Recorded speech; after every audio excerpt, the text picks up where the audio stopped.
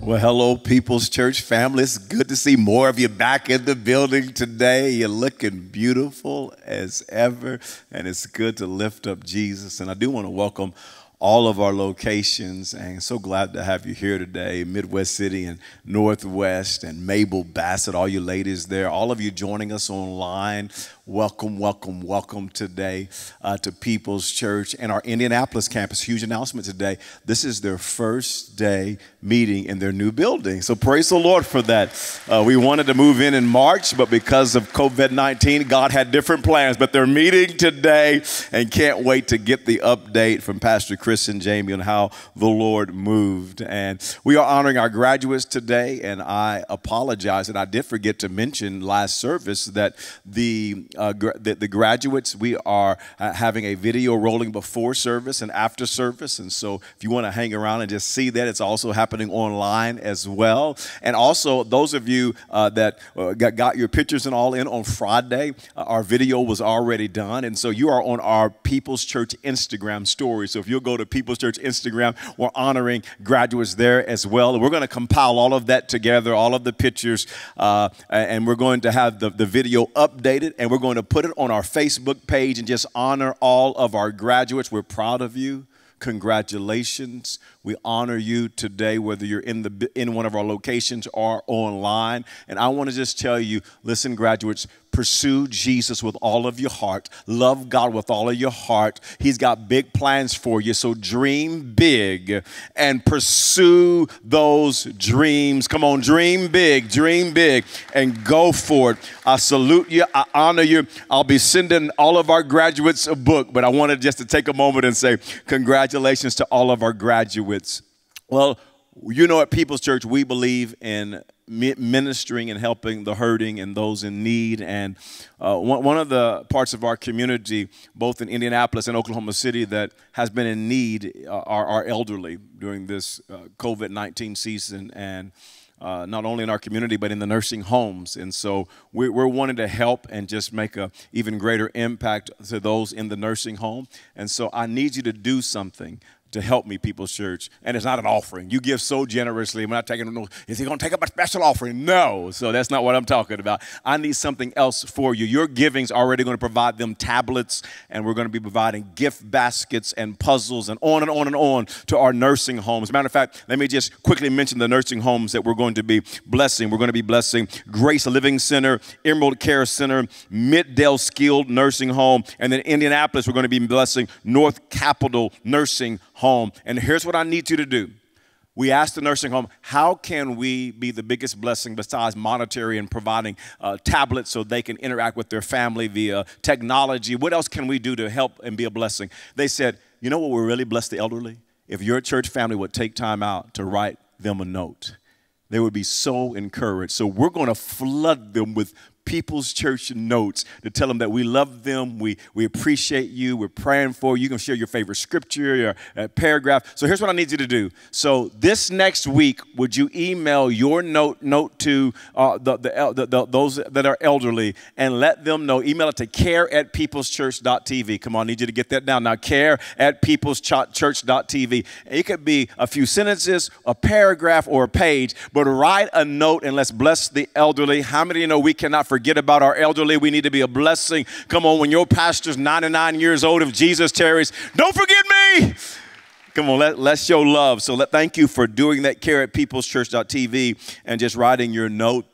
Well, in, in these uh, perilous times that we are living in, I have been working hard with all of the racial tension to create dialogue and conversation.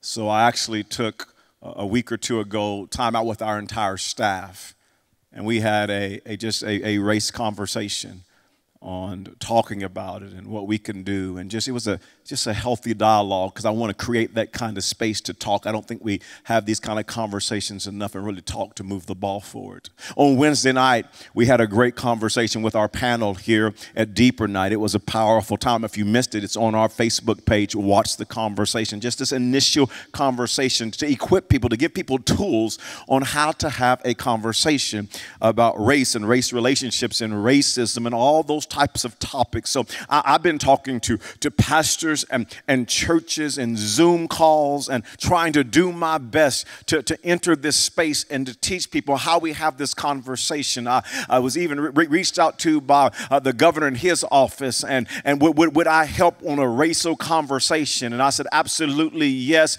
I'm not about Republican, Democrat, independent, don't really care what you are. Praise the Lord. But I do care about moving the ball forward and making progress and lifting up the name of Jesus Christ. And I want to encourage you would you do the same thing? Would you not shy away from this subject? Would you talk about it?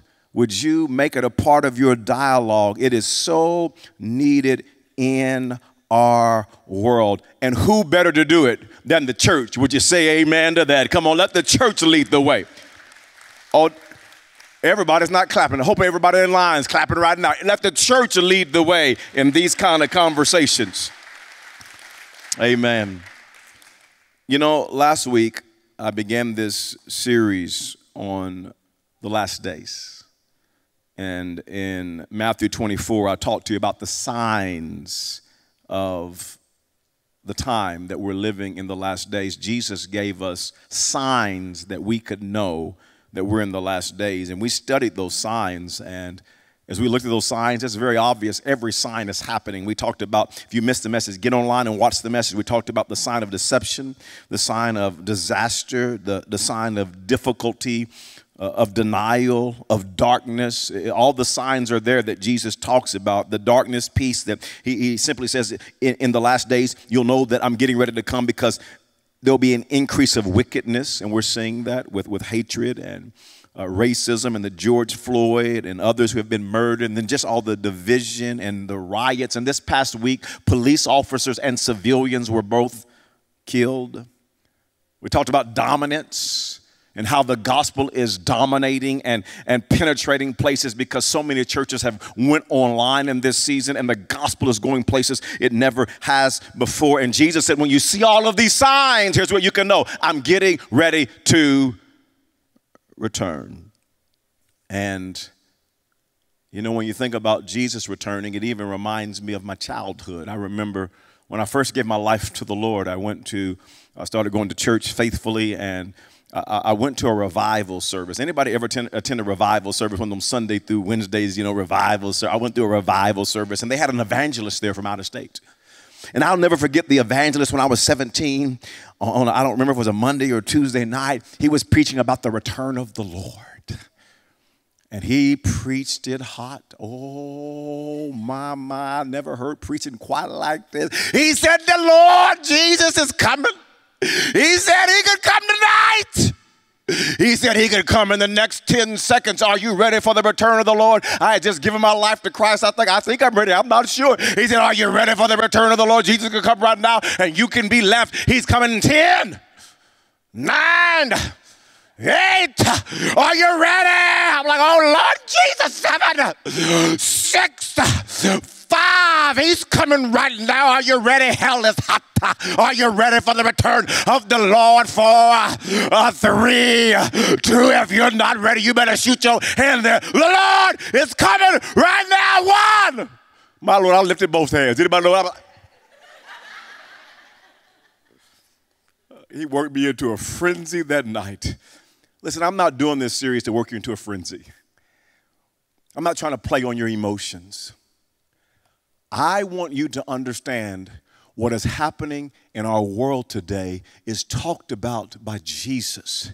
I want you to look at what's happening in our world not from a worldly point of view, but from a biblical point of view. I want you to understand what the Bible says so that you can be ready for the return of the Lord. I want you to be prepared. I want you to be ready. I want you to know what the Bible says. We have so many people who do not know what the Bible says. So, what I want to do today today, I'm going to just take you to school for just a few moments, and, and I need you to lean in because you need to be aware of this. You need, need to know what happens at the end of time. I want to take you to the book of Revelation one of the most complicated books in the Bible. And I want to just give you a really quick overview of the book of Revelation. And then I want to end with some practical next steps. So, we're going to look at this book and help you understand so that you can be ready for the return of the Lord. I would take a lot of notes today, and whatever you can't capture via notes, the messages will be archived so that you can go back and really sink your teeth in on what's going to happen. What does the book of Revelation say? The first thing I want you to understand about the book is the church age. The church age. You find this in Revelation chapter 1 through 3, the very last book of the Bible, the book of Revelation. And John, who was one of the 12 disciples, was banished onto an island called Patmos because of his faith in Christ. And Patmos is located between Greece and Turkey. And in Revelation chapter 1 and verse 10, John was, scripture says, he was in the spirit on the Lord's day. He had a vision or a revelation from Jesus. And Jesus said this to John I need you to write down things that were, that are, and things that are to come. And the book of Revelation is what's called a prophetic book. And the majority of the book is about things to come, prophecy, foretelling the future, about things to come. But but but catch this the first three chapters of the book of Revelation are not about prophecy, they're written to the church. It's the church age. That, that's what we're living in right now, the church age. This, this present age is the church age. And there's some incredibly important things that we need to know about the church age. Th- those first three chapters will prepare you to be ready for the return of the Lord. We're living in that age. And I'm going to come back at the end of the message and talk to you for a few moments about the church age and the adjustments we need to make as we look at those seven churches in the church age. But, but the second thing that the book of Revelation kind of talks about is the rapture of the church. And, and this is when Jesus takes the church from the earth and only those who don't know Jesus are left on the earth. Maybe some of you have watched one of those Left Behind movies. Anybody ever see one of the movies Left Behind? A few of you have. Well, let me just tell you, church, you don't want to be left behind. When you read the book of Revelation, you don't want to be left on the earth during judgment. And there are Christians who have different views on what will take place or when the rapture will take place. There are some that are pre trib. They believe that the church will be taken away before the tribulation period. We're going to talk about that in just a moment. There are other Christians who believe in mid trib, that they believe that God, Jesus is going to remove the church at the three and a half year mark, at the middle of the tribulation. And then there are post trib Christians who believe that, that, that Christians are going to go through the tribulation period and then God's going to take the church from the earth.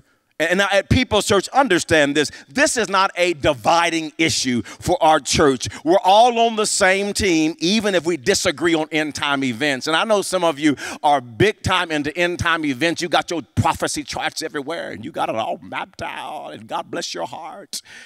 I'm not quite like you. But even if you have your prophecy charts all marked out, we still need to approach this subject with humility. We don't have it all figured out.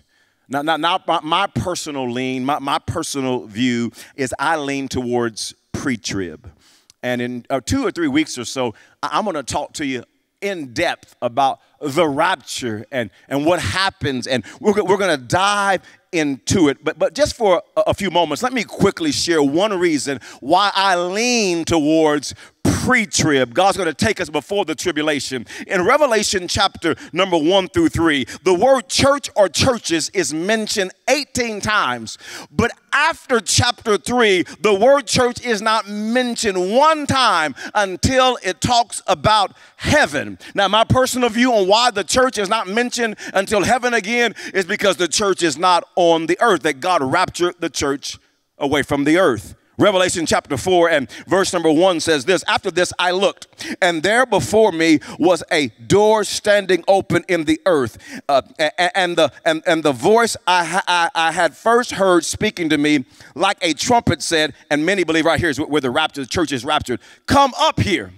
Now, I don't have time to teach it to you today. I'll teach it to you later in the series. But, but, but, but the, when the second coming of the Lord happens, God actually comes to earth, and and and, and we, well, uh, heaven actually comes to earth. And right here, the Bible says we're caught up which is in another part of scripture. I'm not going to teach it today. He says, "Come up here, and I will show you what you must take, what, what must take place after this." At once I was in the spirit, and there before me was a throne in heaven with someone sitting on it, and the one who sat there had an appearance of jasper and carnelian, a rainbow resembling an emerald, encircled throne, encircled the throne, surrounding the throne.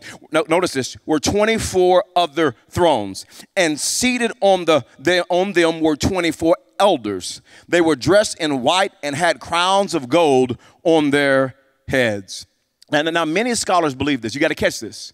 Many scholars believe the 24 elders represent the 12 tribes of Israel in the Old Testament and represent the 12 disciples or the church in the New Testament. So, so, so they, they believe, many scholars believe that this is a picture of the Old and the New Testament church worshiping God together right after the rapture. Let's look at number, number three, the tribulation period. We'll get, we'll get more on the rapture later in the series, the tribulation period. And that, that the tribulation is found from Revelation chapter 6 through 19. It's compl- complicated. There's a lot of symbolism and possibly John is, is writing about 21st century events and he's trying to describe them, and, but he's never seen it. He's never experienced a nuclear war or an airplane or, or helicopters. He's never experienced any of it, any of it but he's trying, he's trying to describe it the best way he can. And the tribulation period is a seven year period that consists of three judgments that have seven parts to each judgment. So, first, there's the sealed judgment. You can find this in Revelation chapter 6, verse 1 through Revelation chapter 8, verse 6. Then there, secondly, is the seven trumpet judgments. Revelation chapter 8, verse 7. Somebody ought to write this down because you, you, you, you, you might not make the rapture. You, you might need to know this now. You better, better get this down. Uh, Revelation chapter 8, verse 7 through Revelation 14, verse 20. And then the third is the seven bowls judgment. And that's found in Revelation 16, verse 1 through 21. Now, now, understand that during the beginning of the first seal, there's this person called the Antichrist. And, and you say, well, Pastor, why is he called the Antichrist? Well, here's why because he is anti Christ. That's deep in the church. I'm the deepest preacher you will ever meet. He is against Christ, and that's why he's called anti Christ. And, and, he's a powerful person with, with great charisma. He engineers a peace agreement and promises the entire world peace and stability. And listen, the entire world is deceived by this man and thinks that the Antichrist is such a phenomenal leader and they follow him. And, and th- throughout years of the church, the church has been trying to guess who the Antichrist is this powerful leader that's gonna, that's gonna get the whole world to follow him. And there's been this, they've guessed this political leader or this person or the, the, this person. A lot of guessing has happened. Listen to me, church. I have been processing, I have been praying, and I really believe, I just want to, I really want to help you. I really believe I know who the Antichrist is. I, listen to me. You need to know so you're not fooled and follow the Antichrist. Here's the Antichrist. Jerry Jones. I mean, if, if, we don't win a Super Bowl, if he don't bring me a Super Bowl, that brother's the Antichrist. Give me a Super Bowl, Jerry. Okay, I'm just playing. I'm just playing. I, I don't know who the Antichrist is, but but you need to be aware that he's gonna come on the scene. So so okay, let, let, let me move on. Let me move on. Let me move on. So so so then you have the, the, the, seven seal judgments, the seven seal judgments. And you find this in Revelation chapter 7, church, verse 3 through 4. And, and when, when you read this, God raises up and sends out 144,000 evangelists. And these 144,000, they don't follow the Antichrist. They, they, they give their life to Christ in the tribulation and they tell the whole world to follow Jesus. And many people become followers of Christ because of these 144,000. I want you to catch this even during the tribulation period, God is still full of mercy, full of grace, full of patience. He's doing everything that he can to reach people with the good news of Jesus and sends 144,000. Revelation chapter 7 and verse 9 says, After this I looked, and there before me was a great multitude that no one could count from every nation, tribe, people, and language standing before the throne and in front of the Lamb. They were wearing white robes and were holding palm branches in their hands. Verse 14 says this I answered, Sir, you know. And he said, These are they who have come out of the great tribulation. They have washed their robes and, and made them white in the blood of the Lamb. And many people are going to be saved. Many people are going to give their life to Jesus during the tribulation. And I know what some of you are thinking right now. Woo, that's good news. I think I'm just going to wait to serve God. good news. I'm glad to hear. Don't do that. Don't do that. Two, two reasons why. Number one is you might die before the great tribulation and miss your opportunity to follow Jesus.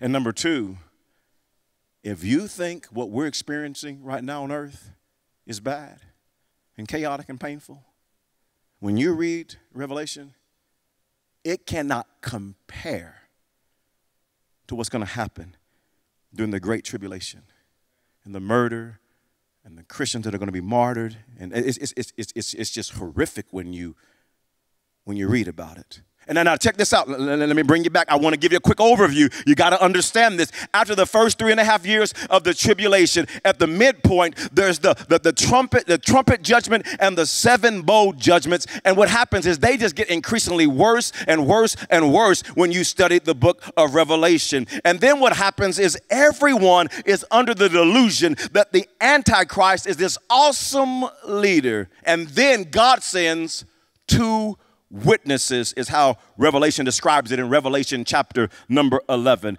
And they preach salvation and repentance to the world. They do some incredible miracles, and people give their life to Christ. But here's what happens the Antichrist kills the two witnesses. Here's what's getting ready to happen in the future. You got to understand this. During the tribulation period, the Antichrist will kill these two witnesses, and they are fatally wounded. And your Bible is so awesome. The, the prophecy, the foretelling, because the Bible says when it was written, there was no technology, there was no way for that, that this could happen. But the Bible says that the whole world would watch these two witnesses dead on the street for three and a half days. It can happen today now because we have the technology for it.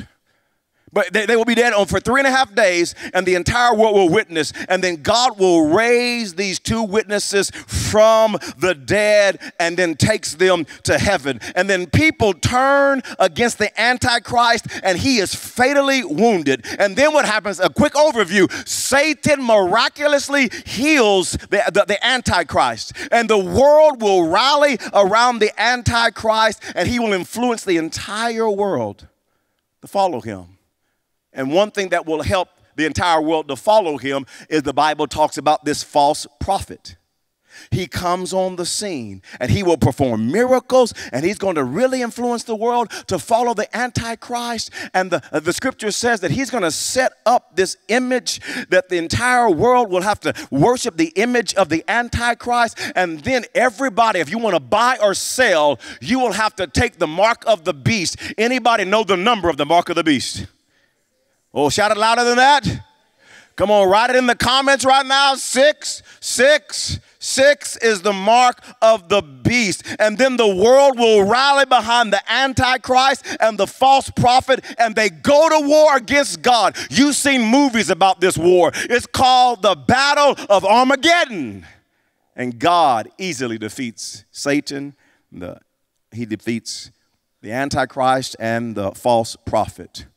Number four, number four, really quick, really quick, really quick. Number four, number four, let me give you a quick overview. I'm getting ready to give you some practical application. Number four is the millennial reign of Christ. So, immediately following the tribulation period is the marriage supper of the Lamb. See, it's called the marriage supper of the Lamb because we're married to Christ, we're his bride. And what happens is we're going to eat a great meal with Jesus. Anybody like to eat? Come on, I, have been studying the Greek words there around the marriage supper of the Lamb. One of those words is chitterling. So I just, I'm just wanting you to chit. Uh, so let me move right on. Let me move right on here. It's called the marriage supper of the Lamb. And, and, and, then I want you to know that after the marriage supper of the Lamb, we're going to spend 1,000 years on, uh, with Christ on earth the millennial reign. And after the thousand years, Satan is going to be released for a short time, and then God deals with him once and for all. You can find this in Revelation 20, verse 1 through 6. And then the fifth thing is this we're talking about a quick overview of the book of Revelation. Number five is Judgment Day. We're going to talk about this later in the series. Number six is a new heaven and a new earth.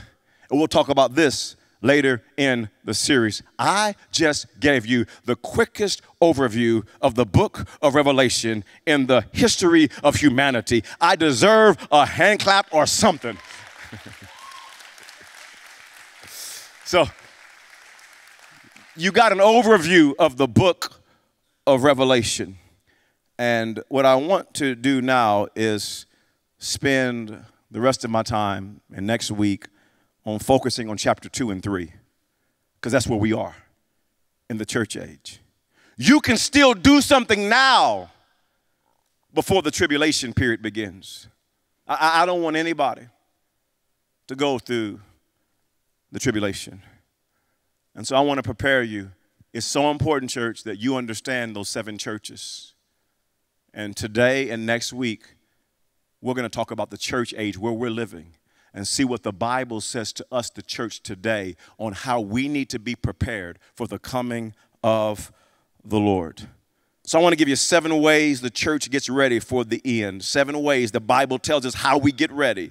We're going to cover two today and five next week. The church age, you got to understand this if you're going to be ready for the coming of the Lord. Number one is this is the return, return to your first love when he writes to the church at Ephesus. Notice this in Revelation chapter 2 and verse number 4. It says, Yet I hold this against you. You have forsaken your first love. Remember the height from which you have fallen. Repent and do the things you did at first. If you do not repent, this is for the church today, I will come to you and remove your lampstand from its place the church of Ephesus got distracted, like a lot of churches are getting distracted today. And they started to fall out of love with Jesus. Church, don't fall out of love with Jesus. The most important thing that we can do is to love God with all of our heart. That's why we got to pray like never before, read our Bibles like never before, worship like never before, go to church like never before. Until you get back to church, there's nothing like being in the room. But while you're online for the next couple of weeks or so, don't miss church. You got to worship. You got to seek God. You got to get close to God. You got to love God with all of your heart. The Bible says this the most important thing that we can do. Listen, don't fall out of love with Jesus in Matthew 22, verse 36. It says, Teacher, which is the greatest commandment? Commandment in the law? Jesus replied, Love the Lord your God with all your heart and with all your soul and with all your mind. This is the first and greatest commandment, church. When you love God with all your heart, let me tell you what happens because you have the Holy Spirit, inside, Spirit inside of you as a Christian. So when you love God, you have to love people. And so he says the second commandment is this in verse 39 love your neighbor. Come on, everybody shout neighbor. Come on, in the comments right there on your watching online, just write the word neighbor. Write neighbor. That's a key word for today. Neighbor. Love your neighbor as yourself. First John chapter 4 and verse 20 tells us that you cannot love God and hate people. When, when you love God, you will have to love people because God is love and his people love others. We love all people, but because of our sin nature, because of our flesh, human beings have the propensity to love people who are like them. We, we tend to build relationships with people who are like us.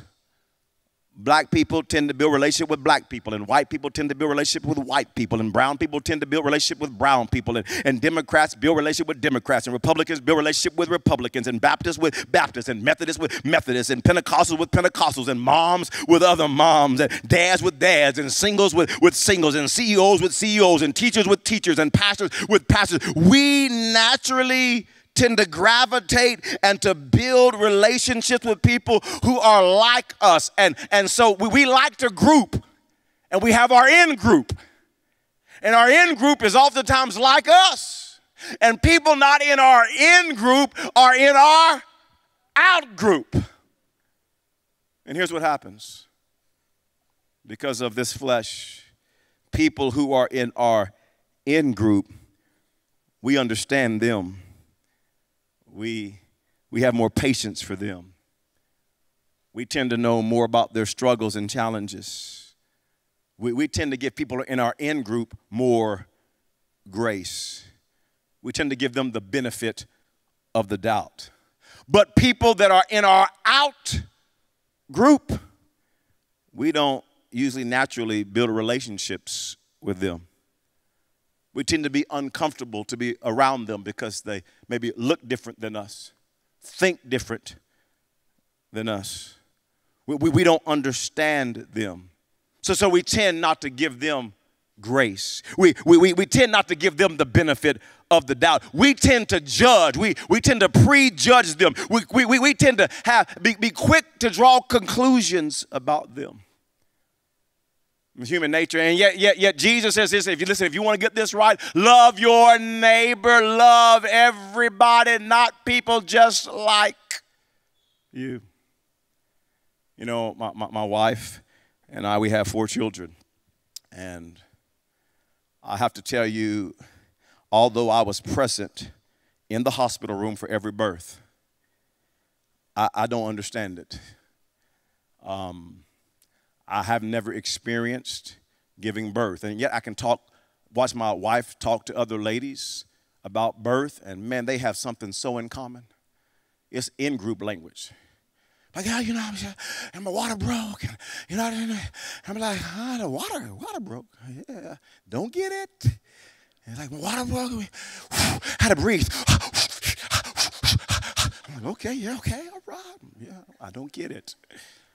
Like, yeah, and then I, you know, I went in the hospital and I got there, and I got there, and I was in pain. I mean, the pain went from a one to a two and dilated, and, a, and a this, and, a, and I got an epidural, and I got a C-section, and, a, and they're talking, and I do not get it. I've never had anything like that come out my body, and Lord, don't ever let it happen in Jesus' name. I don't get it. I don't understand it. It's a group that I just will never understand. But because that's my wife, I love her. She's my neighbor. You know what I've done? I, I don't dismiss it. I don't go, man, your pain's not real. I've never been through your kind of pain. I'm like, no. What are you, what are you going through? You, you, it hurts. You feel what? A kick? When she told me her water broke, I thought mine broke. I started running and, you know, I'm like, hey, my Lord Jesus. Ah. You know, she, get me to the hospital. You know, I'm like, I'm, I care. I was there. I had empathy. I, I, I, still don't understand, but man, I listened and learned and tried to be in tune to her pain. You know, I'm over here bringing ice chips and you know what I mean? What you need, girl? Want me to rub your feet? What you need? Some, some Vaseline on them bad boys? What you need? Let, let, let me say this to you. You know what we oftentimes do when people that are different than us? Been through different pain. We don't take time to get to know them. Why are they doing all of that? Why are they acting like that? Have you ever sat down and said, let's have a conversation? Let's talk. You're my neighbor, and I love you. And although I've never been through your experience, I want to love you well. I don't want to prejudge. I don't want to have biases. I want to sit down and talk and love you like my neighbor. Return to your first love. Love God. And when you love God, you're going to love people. Number two is this. Number two is this. I want you to see this second church. This church, I cannot overemphasize how important it is to study these seven churches and to understand how you prepare for the return of the Lord. We're in the church age. Number two is this remain faithful. This is Smyrna, the church at Smyrna. It, it, you find this in Revelation chapter 2, verse 9 and 10. He says, I know your afflictions and your poverty, yet you are rich. I know the slander of those who say they are Jews and are not. There's, there's some division happening, but, but you are a synagogue of Satan because so much is happening and division is happening. He says, Do not be afraid of what you are, are about to suffer. I tell you, the devil will put some of you in prison to test you and you will suffer persecution for 10 days. Be faithful even to the point of death. I will give you the crown of life. And People's Church, be faithful to God. Be faithful to God during difficult seasons. Hear your pastor, I got to prepare you. Don't just follow Jesus when things are good. Be faithful to God during difficult times. Let me remind you one of the signs we talked about last week that we're living in the last days and Jesus is close to returning. Scripture says about the last days, Matthew 24, verse 10, at that time, many will turn away from the faith and will betray and hate each other. Jesus, as a sign of the last days, is people are going to turn away from the faith, turn away because of trouble and difficulty and pain and trials and hate, and they will begin to hate one another. He talks about this as well in the book of Matthew, chapter 13, with the parable of the sower. It says in verse 20, catch this, the seed falling on rocky ground refers to someone who hears the word and at once receives it with joy.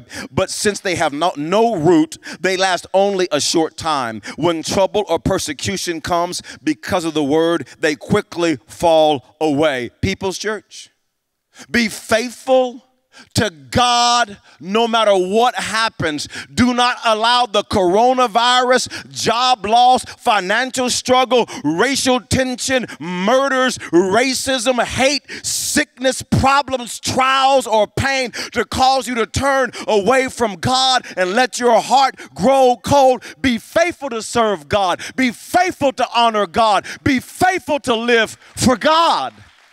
It's key.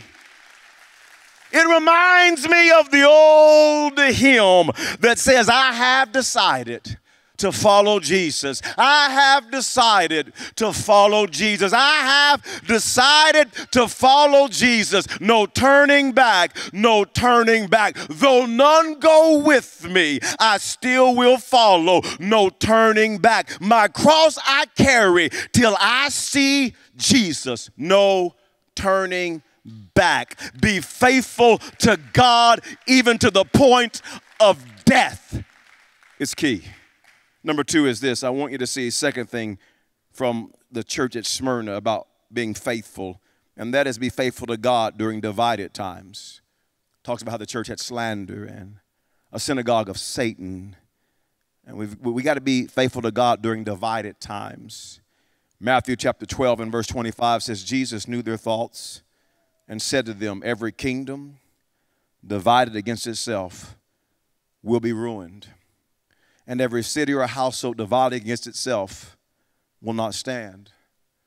And, church, the devil is busy in our nation causing division.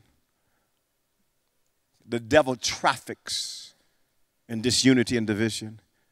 And he wants the church in this critical hour in our nation to be divided.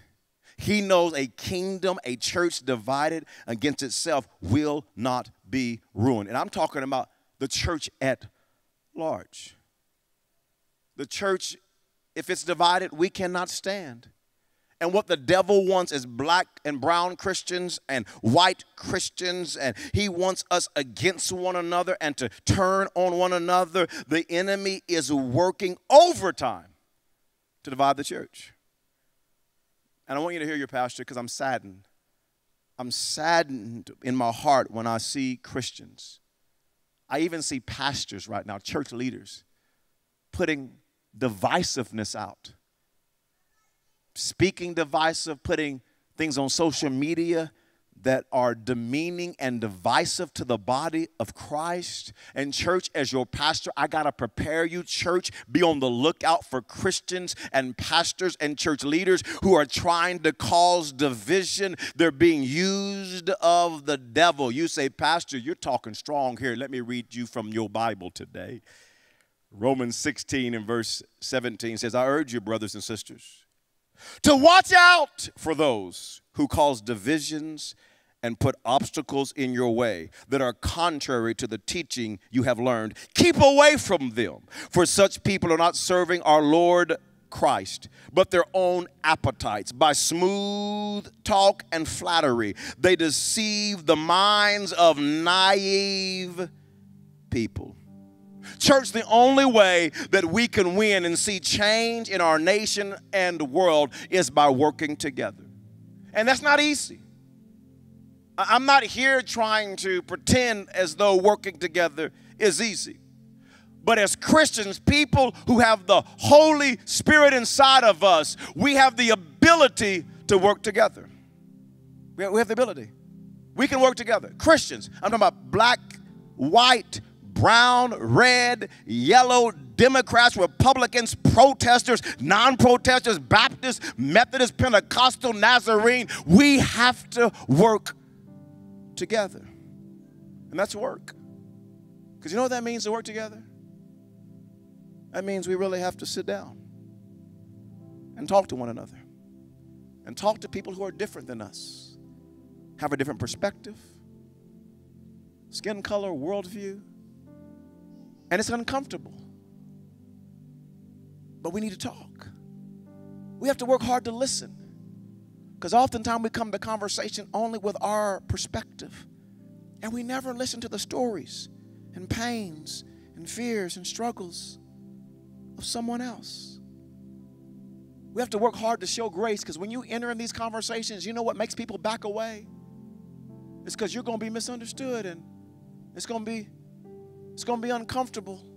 And you're going to say some things wrong and you're going to mess some stuff up when you start talking but don't back away. Show each other grace. Let's have grace as we talk and learn and grow together. We have to work hard to come up with kingdom of God solutions together. We, we need to speak up and be a part of changing racism and hurt and, and hate and, and murder and injustice and, and sexism and sex trafficking. But we need to do it together. We're better together. We're better together. The Bible says in Psalm chapter 133 and verse 1 how good and pleasant it is when God's people live together in unity. He goes on to talk about this unity in verse 3. He says, It is if it is if the is if the dew of Hermon was falling on Mount Zion, the anointing. For the Lord, there the Lord bestows his blessing, even life forevermore. God puts his blessing on unity.